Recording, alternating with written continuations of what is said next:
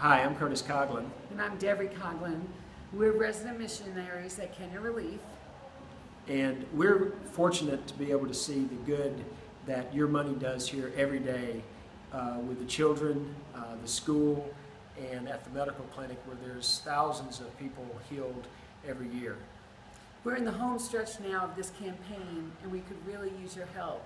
Have you ever thought about making a significant difference and a huge impact? Now's the time. That money will go really, really far here. Thank you. We could use your help.